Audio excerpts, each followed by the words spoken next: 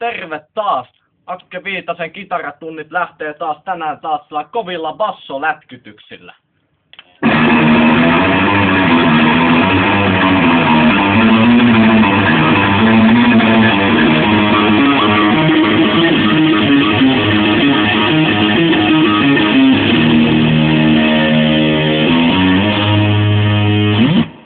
Tämä on tällainen sopiva, että saa nakit